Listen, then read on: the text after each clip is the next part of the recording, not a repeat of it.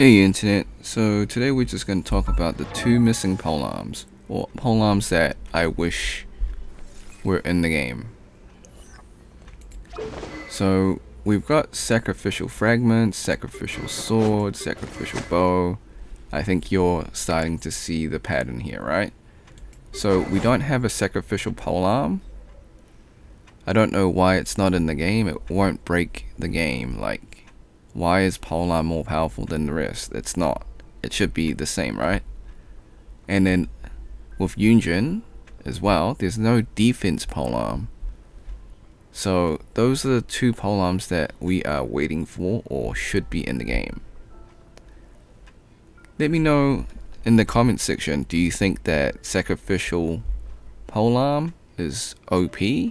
I don't think so. And defense polearm is definitely not OP. But give me your reasons why they're not in the game. Do you think they will be in the game someday?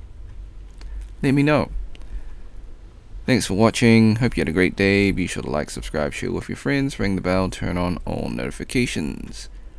Leave a comment below. Do you think these missing polearms will be in the game one day? Or do you think they're way too OP to be in the game to begin with. Until next time, see ya.